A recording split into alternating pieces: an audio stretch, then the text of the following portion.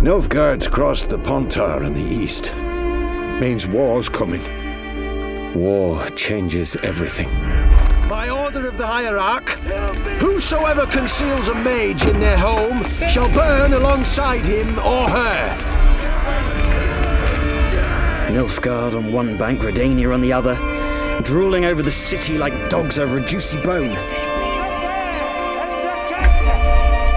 We are at war, and she's in danger. You will find her and bring her to me. Fire! She's a child of the Elder Blood. Say now. I've got to find Ciri. And if you find her, the girl will die. Our world will burn! Burn in the eternal fire! Why are you helping her? Because she's a danger, a mortal one, a power that can destroy the world. You must find her, Geralt. Before the Wild Hunt does.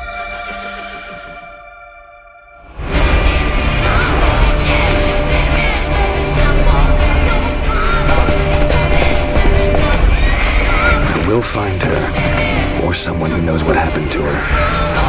Who are you? You know who I am.